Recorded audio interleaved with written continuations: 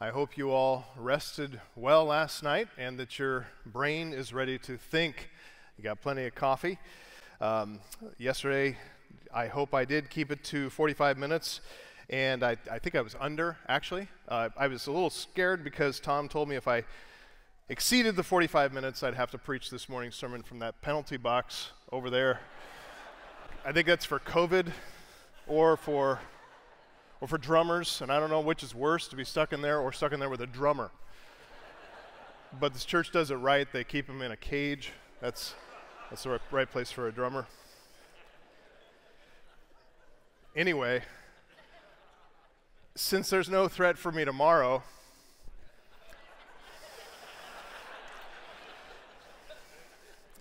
I don't care about being invited back. We're going to talk about the church triumphant this morning. So turn to 1 Corinthians 15. 1 Corinthians 15. As a former military man, I was disappointed, to say the least, with the way the Biden administration pulled American troops out of Afghanistan recently. That hurried withdrawal squandered what had been a hard fought win. And worse, more than $80 billion in military equipment is now in Taliban hands.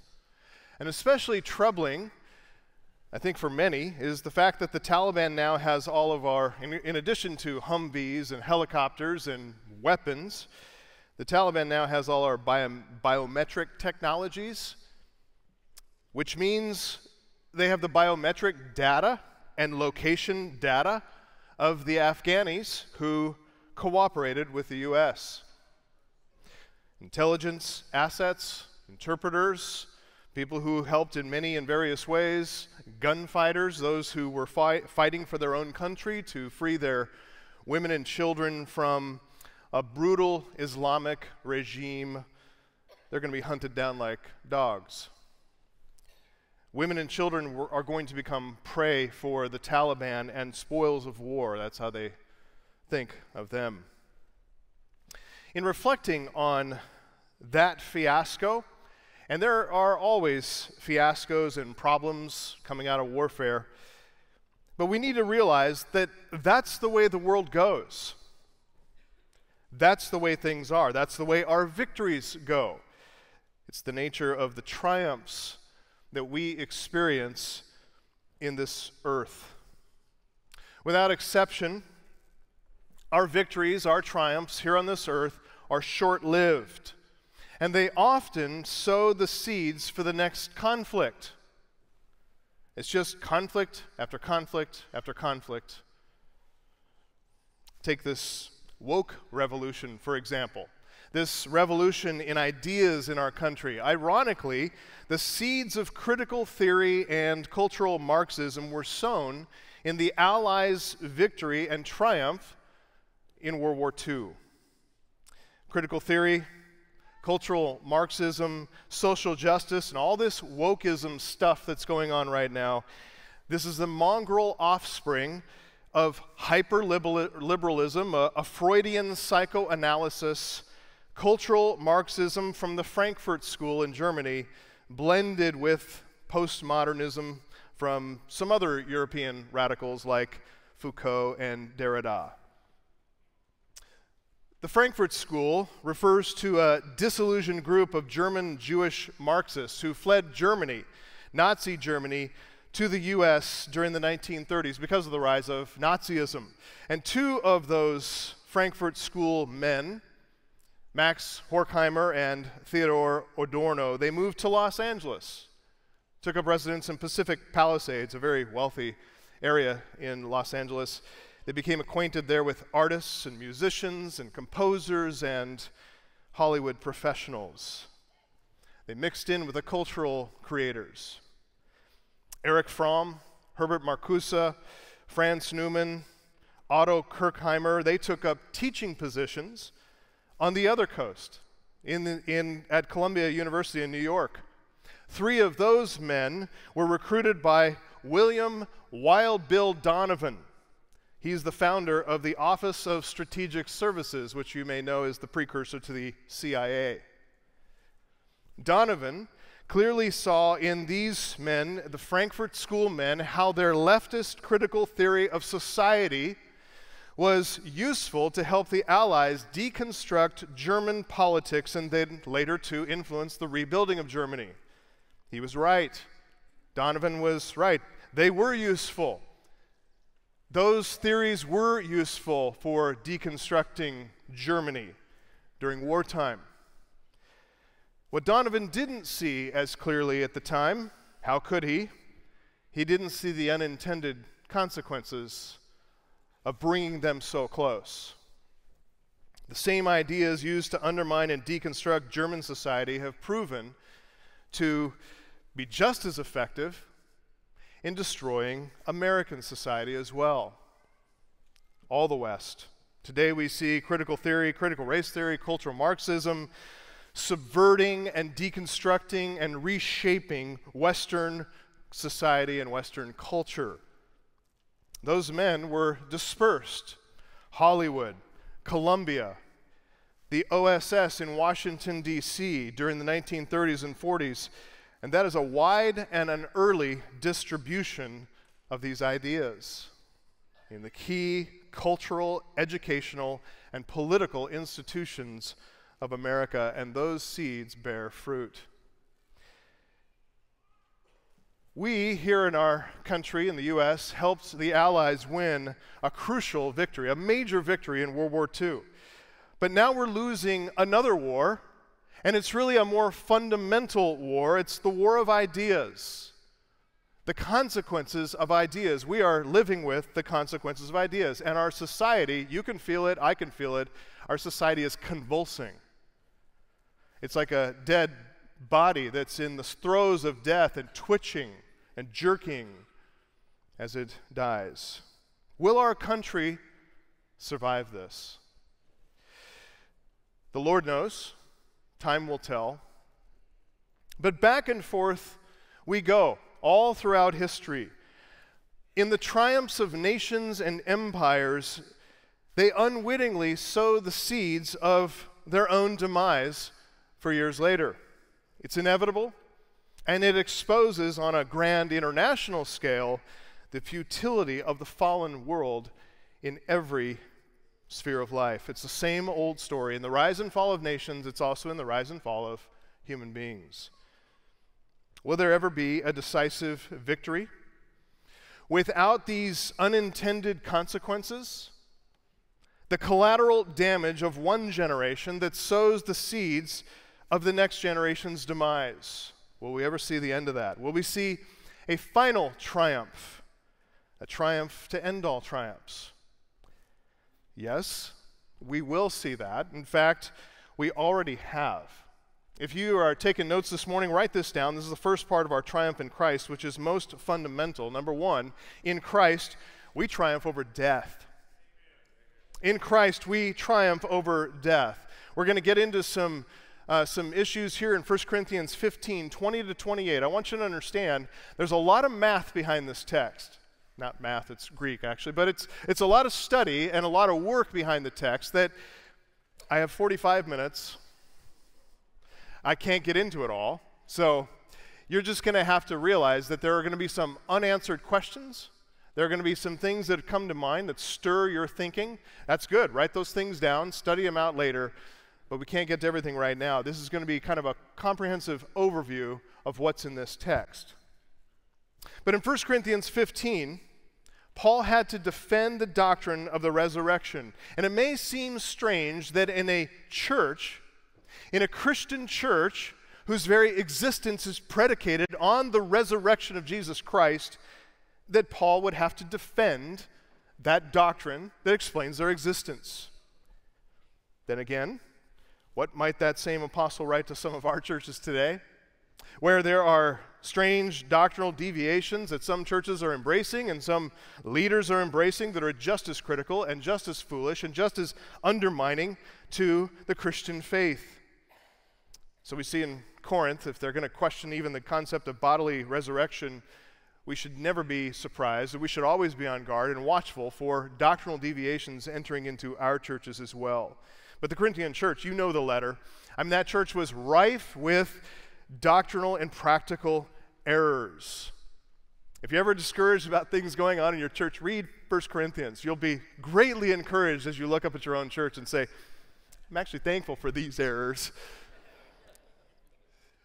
But the, the letter here is corrective in nature it may seem hard to understand how the very worst form of errors, one so patently destructive to the Christian faith, the denial of bodily resurrection, how did that one ever become a thing? It's actually not that hard to figure out with a little reflection. It was actually just another case of the culture influencing the church. Greek culture was prejudiced against bodily resurrection because of the philosophical dualism that shaped the Greek mind and Greek philosophy. Greeks believed the body made of matter, along with all flesh, along with all material reality, the stuff of the material world, they believed material matter is evil inherently. Only what is pure spirit is good. Body bad, spirit good. That's what they believed. That's what they brought into the church from the culture. So the idea of a bodily resurrection was not just undesirable to them, it was actually irrational nonsense, repugnant to some, a crudity to most people. Why would anyone, having been freed from the prison of the material body, why would anyone hope their soul would return again to a body of flesh. Ludicrous.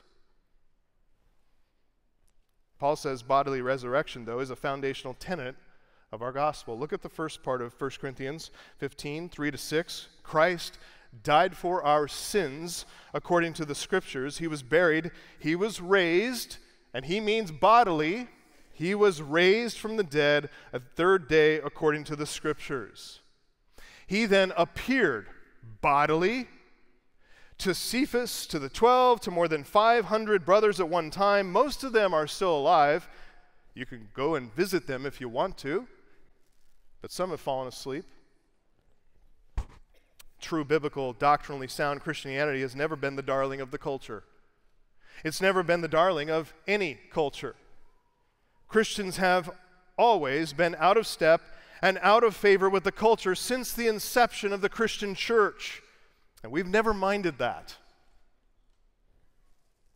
Christ crucified to take away our sins. If the start of the gospel is foolishness to the culture, 1 Corinthians 2, 1 Corinthians 1, why would we expect the end of the gospel, the telos of the gospel, to make better sense to them? So Paul confronts these resurrection deniers.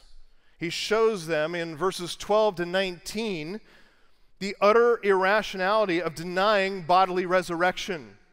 You deny that principle, you deny Christ's resurrection. If you deny Christ's resurrection, all is lost. All is lost. This is all futility. We are all men most to be pitied. So he sums it up with this affirmation of truth in verse 20. But now Christ has been raised. Hallelujah, right? That's where we need to start this morning. An affirmation of this rock solid truth that Christ has been raised. That tomb is empty. He's been raised from the dead. He's the first fruits of those who've fallen asleep. Even that language of sleep is a precious euphemism for the believer. To, it's a picture of what death is like for a Christian. It's like, it's like taking a nap. Same language Paul, by the way, used back in verse 6.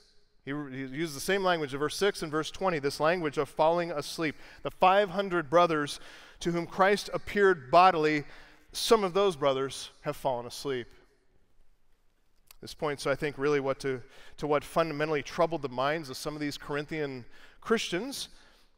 This anxiety that made them vulnerable and susceptible to the reintroduction of that Greek philosophical error, that prejudice against bodily resurrection to deny the principle of bodily res- resurrection. Having buried some of their loved ones who were believers, the longer their dead bodies remained in the grave, the longer they waited, the longer they wondered, the longer they looked to the skies for Christ to return just as he just as he ascended, so he would return, the more they began to wonder, hmm, maybe I've misunderstood something. Maybe, maybe the resurrection is of a different nature. Maybe it's not a bodily resurrection at all. Things that pertain to this world, this life, this matter. Maybe, maybe it's. Maybe it's a spiritual resurrection we're talking about here. The spirit escapes the prison of the body. Maybe that's how we're to think. And so Paul, he gently but firmly answers their questions like a pastor.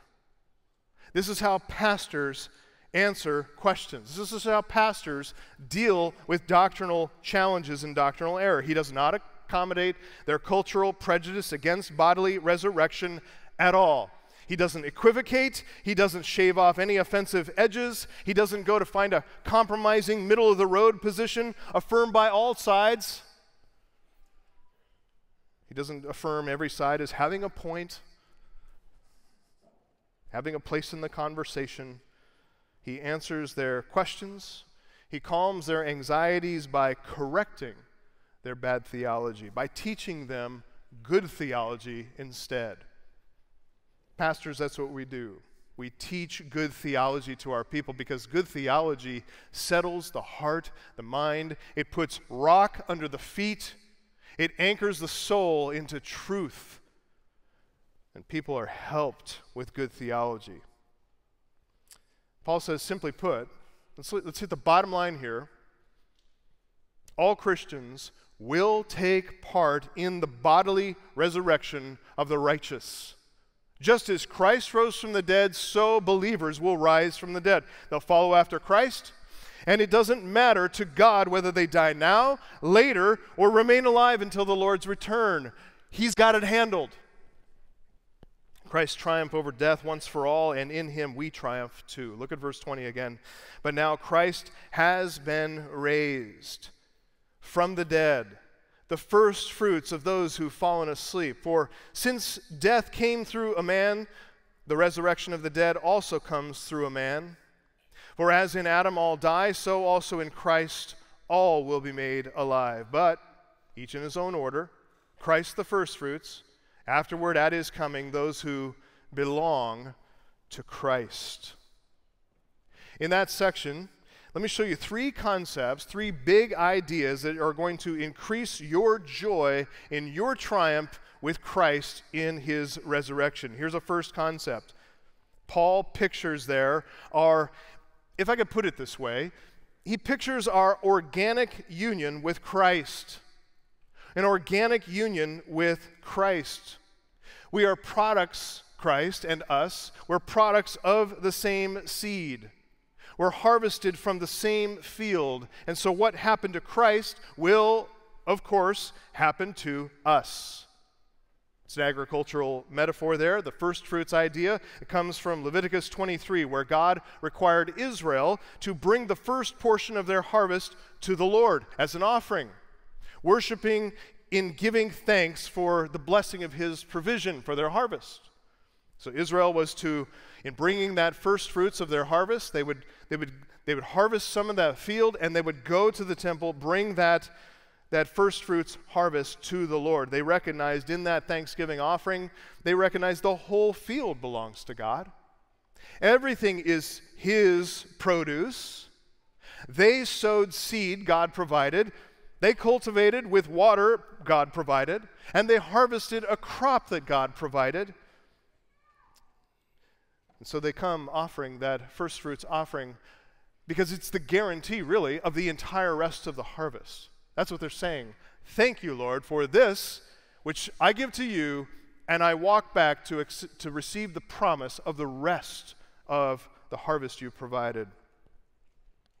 This field harvest imagery is also used in the third chapter. Paul says, I planted, Apollos watered, but it's God who gave the growth. And then verse 9, you, Corinthian church, you are God's field. You are the harvest. You are God's field. Christ is the first fruits of God's harvest. And he's going to get the rest of the harvest too. Guaranteed. The bodily resurrection of Christians is guaranteed, and it's going to take the same pattern of Christ's bodily. So, why do Christians have to die at all? That's another question that comes to their mind. Why do Christians have to die at all? And Paul answers with a second concept the doctrine of the federal headship of Christ. He talks about our legal union with Christ. Adam and Christ stand as the representative heads of two races of humanity. So, the in Adam race of humanity, of which all have participated, the in Adam race of humanity will follow its representative head, as it does, into death. The in Christ race of humanity will follow its representative head into resurrection and eternal life two races of humanity, each following their representative head. Christians die because they're born into this world. In Adam, death came through a man, verse 21. And in verse 22, in Adam all die.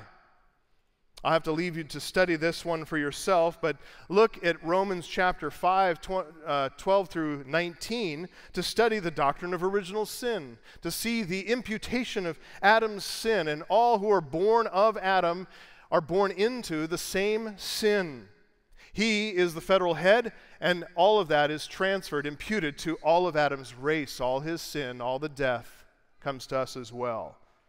The corollary is also true that all who are in Christ will experience the resurrection of the dead, verse 21, and verse 22 in Christ all will be made alive.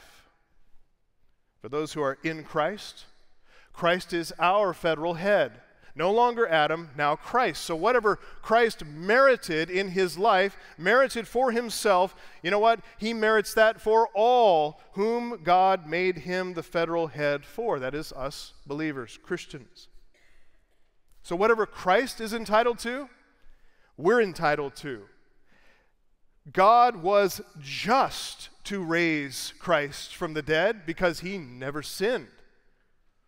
He fulfilled all of God's law, so it was just for God to raise him from the dead. We, because we're connected to Christ by imputation, we get the benefit. He merited what we get as a gift. There's an organic union with Christ. There is a legal union with Christ because of federal headship. A third thing we see here is we have a redemptive union with Christ. In Christ, all will be made alive, but there's a proper order. There's a, a, time of waiting for the unfolding of God's plan of redemption. So Christ, the first fruits, goes first. And he has preceded us in resurrection. And then afterward, at his coming, that's the word parousia. Parousia refers to the second coming of Christ. So, afterward, at his coming, those who belong to Christ, very important word, those who belong to Christ, they too rise in a bodily resurrection. Belong to Christ. What's Paul referring to there? How do believers belong to Christ as in a possession? Well, it's by virtue of the decree of redemption. Titus 1 2 this hope of eternal life that we have that's fulfilled in the resurrection life of Jesus Christ. This is something, Titus 1 2, that God, who cannot lie, promised before time began. To whom did he promise before time began? Who was there before time began? If, if it's before time began, then it's before anything was created, before God created the heavens and the earth. When God created the heavens and the earth, He created matter. Matter put it, was put in motion. There's a measure of matter in motion. That's called time. God created time in the beginning as well, along with creating matter. Who was there before time began? God. in his intra-Trinitarian relationship, Father, Son, and Spirit. Prior to creating heaven and earth in this timelessness, intra-Trinitarian reality, it's outside of our comprehension, but we learn in Titus 1 2 that the Father promised the Son the gift of a redeemed people, a people whom the Son then redeemed for himself and then delivered back to his Father that God might be all in all. So the resurrection is guaranteed because it's a matter of an intra-Trinitarian love, an intra-Trinitarian promise. It's sometimes called the covenant of redemption. This intra-Trinitarian love and gift giving of this redeemed people, Father giving the redeemed people to Christ, and Christ redeeming that people for himself, and then giving that back to his Father. We will rise from the dead, triumphing in Christ over death because it's a matter that's way beyond us. It's beyond our pay grade, it's higher than us. It's a matter of the Father and the Son fulfilling an eternal, intra-Trinitarian decree of redemption. So much of the news that we read in these days, it's designed to make you afraid. I mean, that's how they keep you coming back to quell your anxieties that they have stirred up. So the news stirs up your anxiety, it stirs up your discontent, and you continue to digest it. And as you eat that and it creates discontent and concern and anxiety and worry, you revisit it the next day or even in an hour to see if the story's changed. Everything is designed to make you afraid, to get you to worry, to be anxious about so many things. Christian, don't be. You don't you can unplug. You don't have to go there. Your phone doesn't own you. You own your phone. You're invincible in Christ. Keep your head in the text and your phone unplugged or off, or frankly, throw it in a lake. Just get rid of it. You're invincible in Christ over death by virtue of resurrection. And it's by virtue of three unbreakable, irrevocable realities our organic union with Christ. And how do you know if you are organically in union with Christ? Is the same fruit growing out of your life that is evident in His? Is the fruit of the Spirit growing in your life?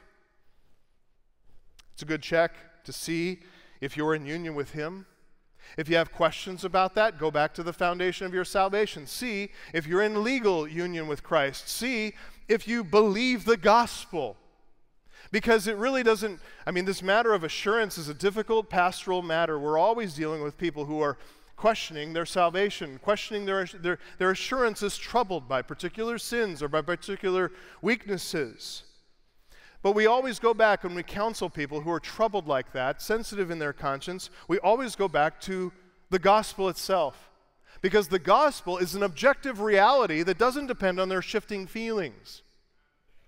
So go back to the gospel, and we talk about legal union with Christ. We talk about the doctrine of imputation, the imputation of our sin to Christ, and in his passive obedience, what he suffered on the cross, he took away all sins through his perfect, sufficient atonement.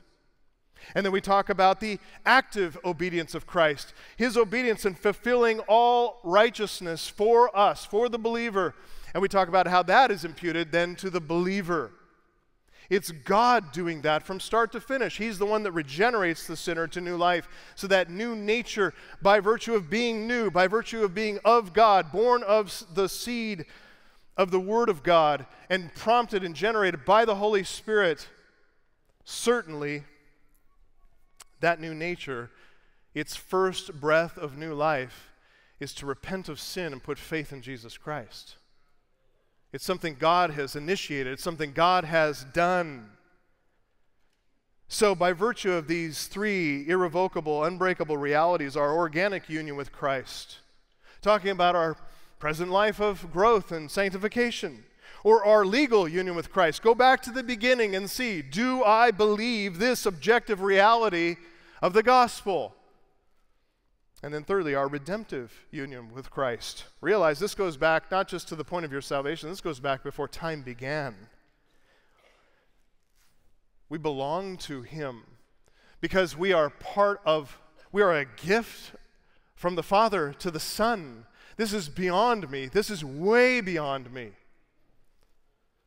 Well, by those three unbreakable, irrevocable realities, we triumph in Christ over death. We triumph in Christ through this bodily resurrection. So, beloved, listen study your union with Christ. Until you understand these doctrines, until they all make sense, until there's a consistency flowing, anchoring your soul, study your union with Christ until you believe it deeply, until you are convicted and convinced. And then tomorrow, do the same thing. Keep studying, go deep. Colossians 3 1 to 4 Since you've been raised with Christ, seek what is above, where Christ is, seated at the right hand of God. Set your mind on things that are above, not on what is on the earth. It's Paul's way of saying, stop checking the news. For you've died. Your life is hidden with Christ in God. And when Christ, who is your life, is revealed, you also then will be revealed with him in glory. Death is the power of separation. Death is disintegration. Physical death is a separation of soul from body, it disintegrates the human person. Spiritual death is the separation of the soul from the life of God. It demolishes, spiritual death demolishes the only connection we have to the, the one who is life itself. Eternal death is the permanent separation of that person from God and that person. Death, all that death, death, death, death, it's all conquered for the believer in Christ, all conquered in Him. John Owen put it this way in the title of his famous treatise. I love it. It's the death of death in the death of Christ. Part two of our triumph in Christ. Part two. In Christ, we triumph over all powers. In Christ, we triumph over all powers. Look at verse 23 again, because there's an order to the events of the future. In Christ, all will be made alive, but each in his own order. Christ the firstfruits, afterward, at his coming, those who belong to Christ. Now, I'm going to work out the order a little bit here. The word order, tagma, it refers to things that are ranked in the right order, ranked like military troops marching in perfect formation, lockstep together. So there is an order, and Paul tells us here about a series of events. More specifically, he's speaking about a series of, of resurrections. So the first event he names here is the resurrection of Christ. He's the first fruits of the harvest. After Christ, the second event is the resurrection of all believers when Christ returns. The word parousia refers to the second coming. That's an event that's portrayed in Revelation 19 11 to 21, the second coming, and what Christ does to the armies arrayed against him. Jesus is going to return, Revelation 19, to confront that beast led, false prophet supported rebellion at the end of this age. And when he returns, he will kill them all. He will slay them by the word of his mouth, the sword that comes out of his mouth. He will establish then his earthly reign, the millennial kingdom that is described in the very next text in Revelation 21 to 6. And at that time, as Revelation 24 to 6 says, all the saints will rise from the dead, and they will rise from the dead to rule and reign with Christ for a thousand years. Now, this hasn't happened yet. It's been almost 2,000 years separating Christ, the firstfruits, from the resurrection of the just, the resurrection of the righteous. There is a time gap, obviously, in the events that Paul lists here in very short succession. But that calmed Corinthian anxieties about the lost loved ones, those who had fallen asleep in Christ and had not been raised from the dead. This provides, it should provide a great encouragement to us too. To realize that time passes and the time needs to pass because God is doing his perfect, wise work in the execution of the plan of redemption. Beloved, wait patiently. Don't let your waiting be misused.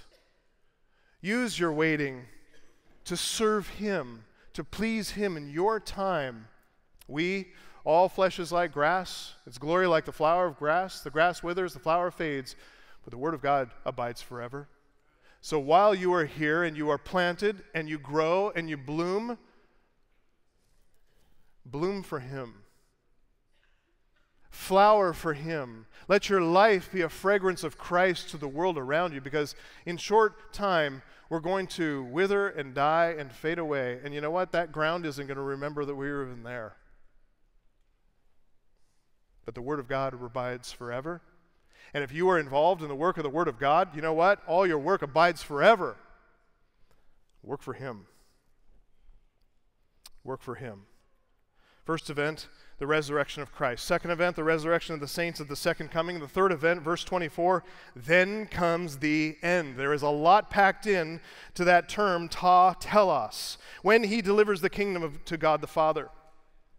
So, events one and two separated by a gap of time, followed by a third event, also separated by a gap of time. This is the period of Christ's physical earthly reign, called the millennial kingdom, an intermediate kingdom of the coming age, which is a prelude into the eternal state. So, it's this age and then the age to come, and in the age to come, this prelude to the eternal state called an intermediate kingdom, the millennial kingdom of Christ. And the rest of verses 24 to 28 expands upon and elaborates on those two little Greek words, ta telos, the end. What he calls ta telos will culminate in Christ delivering the kingdom up to his Father. Before he's ready to do that, though, he's got some work to do. So, first, verses 24 to 25, Christ will subdue every power, every opponent, every rebel force opposed to his rule. It is the triumph of all triumphs, it's the war that will end all wars. Then comes the end when he hands over the kingdom to God the Father, when he abolishes all rule and all authority and power. For he must reign until he puts all his enemies under his feet. So he reigns on the earth he crushes all opposition, and after that, he hands the kingdom over to God the Father. And after that comes the end, the resurrection of the wicked, their appointment with God on Judgment Day. The word abolish is the word argeo, and it means to render ineffective, to cause to be useless. And in some contexts, even stronger, to wipe out, to abolish, to destroy, to bring to a full and complete end. That's what Christ will do with all rule, all authority and power that's in opposition to his. He will subdue it, he'll render it ineffective, he'll press it into submission. Any rebellious impulses will be dealt with most severely, swiftly, harshly. It'll be a ruthless destruction of any opposition force. The word rule is arche. It's a, the command of a superior over an inferior. The word authority is exousia. It emphasizes legal authority over someone. And then the word power, dunamis, talks about the ability to project that authority, to execute or exert a dominating influence and exercise rule.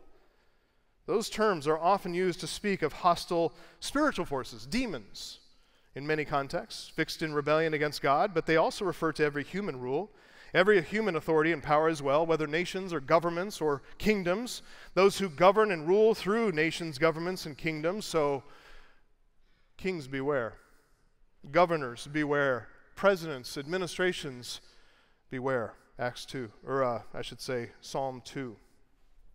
Christ will begin this subduing this abolishing, this destroying work first when he returns to go to war against the armies of the beast. That's described in Zechariah 14 and Revelation 19, as we said, when he comes and he slays them with the sword that comes from his mouth. Satan is seized at that time, Revelation 20, bound for a thousand years in order that he might be out to de- deceive the nations any longer, Revelation 20, 1 to 3. And during that thousand years, Christ will sit on the throne of David. He will rule the nations with a rod of iron. He will bring an age of unparalleled peace and prosperity here on the earth in fulfillment of prophecies made through Solomon, Isaiah, Micah, Zechariah. I wish we had time to examine all those texts. We don't. But they are magnificent examples of God's faithfulness in the triumph of Christ over all powers. Pick up a copy sometime of Matt Waymeyer's excellent book, Amillennialism and the Age to Come, if you'd like to study more on this subject. But let me just give you a few summary examples of those texts. Psalm 72 says that the Messiah will reign over the entire earth. He will glorify God by dispensing justice and compassion, justice and mercy in his reign, and by providing then an unparalleled prosperity to the earth. Isaiah 65 says that there will be long life, fruitful, bountiful harvests, blessing upon the womb, abundant peace. Even among the animals, the wolf and the lamb shall graze together, and the lion will eat straw like an ox. Isaiah 11. With righteousness, the Messiah will judge the poor. He will decide with equity for the meek of the earth. He'll strike the earth with the rod of his mouth, and with the breath of his lips, he shall kill the wicked during that time. Isaiah 2, Micah 4, parallel text there. All nations, all peoples will come to the house of God. They'll come, the nations will come to learn his ways in order that they might walk in obedience, and the Lord will judge between the nations. He'll settle disputes among the peoples. Zechariah 8 says there will be peace in Jerusalem with old men and old women relaxing in the streets of the city, and the streets of the city shall be full of boys and girls playing in the streets because they're safe streets. Try that now in San Francisco, Los Angeles, the major urban centers of our country. Zechariah 14, nations will go up year after year, it says, to worship the King, the Lord of hosts, celebrating, get this, the Feast of Booths all the nations of the earth, even the Gentile nations, will go up to worship the Lord of hosts, celebrating the Feast, Feast of Booths. And anybody who rebels, who refuses to come, the Lord will punish them by withholding rain. This is why God tells the kings of the earth to be wise in Psalm 2. Be wise. Bow down. Kiss the Son, lest he be angry with you and you die Nations may rage now, kings may conspire against him now. It's rather comical to the Lord in Psalm 2. God laughs at all these petty rebellions because the king he set in Zion, he's going to break them with a rod of iron. He is going to dash them in pieces like a potter's vessel. It's not even a contest. Are you kidding me? You're going to conspire against me, against my king that I've sent in Zion, my holy mountain. They're no match for his power. What makes the earthly millennial reign of Christ necessary? Verse 25, because God promised it. He promised it, for he must reign until he's put all his enemies under his feet. That's Psalm 110, verse 1. The declaration of the Lord to my Lord, sit at my right hand until I make your enemies your footstool. That's a promise. It's followed by this promise. Verse 2 The Lord will extend your mighty scepter from Zion, from Zion, ruling over your surrounding enemies. Enemies have always surrounded Israel, always threatened. For now. But then, then the tables are turned. Then the script is flipped. It's not just the hostile earthly powers, it's hostile heavenly powers too. Revelation 20, 7 to 10, when Satan is released, he comes to deceive the nations again. He gathers them for one final battle against Christ. And you say, well, how are there nations that are going to be rebellious after that thousand year reign of Christ on the earth? And it's because there are believers who enter into the millennial kingdom in their fleshly state, in their bodily state, and they have children, and the children have long life. And the nation, after God just wipes out the unbelievers of the earth when He comes again, the earth is very quickly in a time of thousand years of peace and prosperity and righteousness ruling over the earth is going to be abundant. The womb will be blessed. These believers who enter into the millennial kingdom and have children, those children are going to be born in the state of Adam. So they're going to have to make a decision like we've made a decision. Will they follow Christ or will they not? It doesn't take Satan to deceive them, to let the, the fruit of their sinful hearts follow its path. So when Satan is released in Revelation 27 to 10, he's released. He deceives the nations again. He gathers them one more time, one final battle against Christ, and that won't end well either. Fire comes down out of heaven, it consumes them. the devil joins the beast he takes an eternal bath in the lake of fire. It's the end for him. Then comes the end. The final stage in the resurrection order, Paul started in verse 23. First, Christ rises from the dead, verse 23a. Second, all believers rise from the dead, verse 23b. Third, all unbelievers will rise from the dead, which is described in Revelation 20, 11 to 15, when the sea gives up its dead, when death and Hades give up their dead, when all believing, unbelieving souls will be judged, and sentence will then be executed, and they will enter into the lake of fire. Finally, at that point, Christ will put an end to death itself. It is the death that he abolished when he triumphed over it at the cross. But the last enemy to be abolished is death, for God has put everything under his feet. Why does he wait until then to abolish death? Why is death the last enemy to be destroyed? Well, death has to remain as the wages of sin. As long as there are sinners, there must be the wages of sin. There must be the payment for sin. It's for the sake, death remains for, to the very end for the sake of executing divine justice. This is in faithfulness to Genesis 2:17. The promise that God made to Adam, on the day you eat of it, you shall surely die. As long as sin remains, death remains. But once that tool of judgment serves no more purpose because all sinners have been judged, he'll throw it away. No longer needs it. Why has Paul bothered to give us the order of these resurrections? Why has he given us this to the Corinthian church? Why does he give it to us? Why is it recorded in Scripture for us? This order of the, this age and the age to come. Why did Christ want to reveal this to us and share with us the, the good news of his future triumph? Here are a few attempts made at constructing an answer to that. The triumph of Christ over all earthly powers reveals God's faithfulness.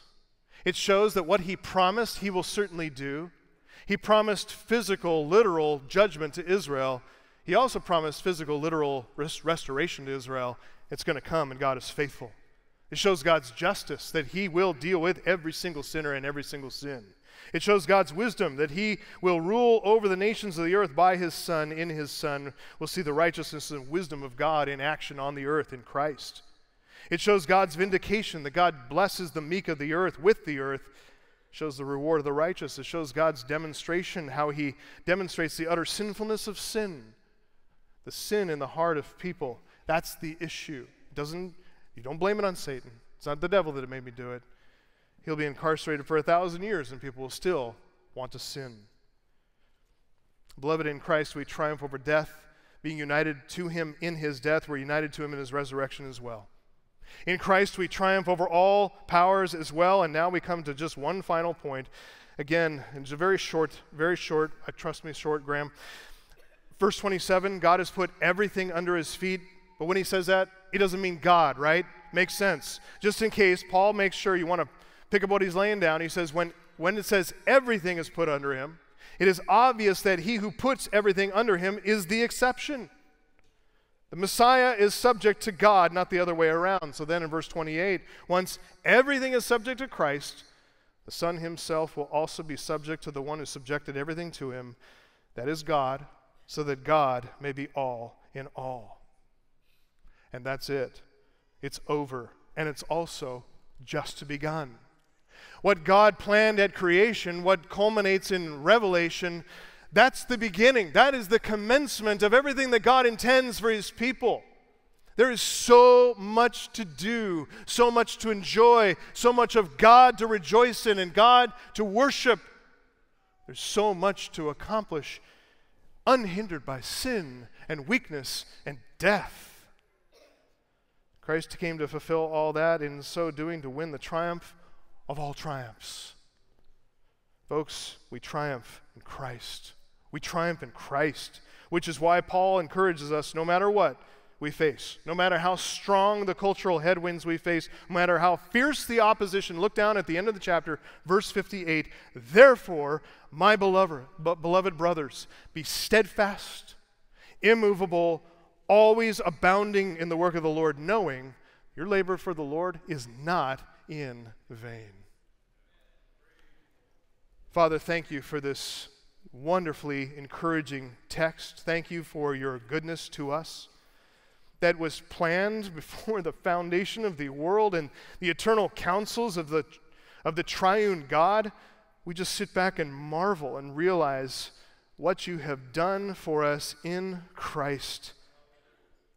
Oh, may we be encouraged. May we be steadfast, immovable, always abounding in the work of the Lord. May we bring glory and honor to you by the Spirit in His power, in the name of Jesus Christ, our Savior, our triumph. Amen.